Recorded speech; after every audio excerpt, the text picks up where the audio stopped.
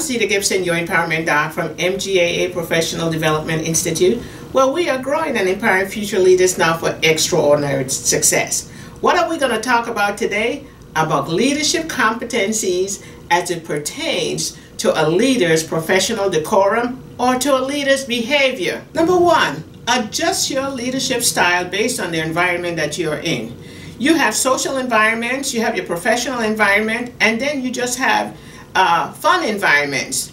Now, you as a leader have to set the example for your team. You cannot socialize, drink, get drunk with your employees and expect them to respect you the next day at your job. Now, when I say adjust your leadership style, you have to be able to use a variety of leadership styles based on the situation and the environment you're in. You cannot use one leadership style for everyone in the organization. It's situational. Sometimes some people need a whole lot of directions, and at other times, they just need your support.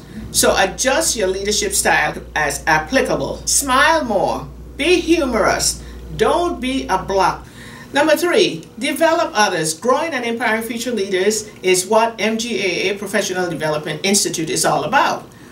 You must grow your team if you want them to be effective and you want to be successful. Send them to training, have symposiums for them, have them cross train within the organization.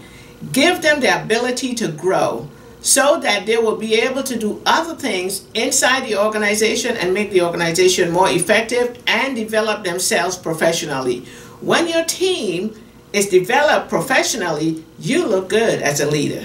Don't take all the credit for the projects that are successful in your organization. Share the credit among your team. Give your teams reward. Everybody likes to feel appreciated. So award your team. Success is all about growing together and sharing the credit. Now, when it's not so good, don't blame your team. So as we recap on a leader's professional decorum or their behavior, number one, adjust your leadership style. Number two, keep smiling and have humor.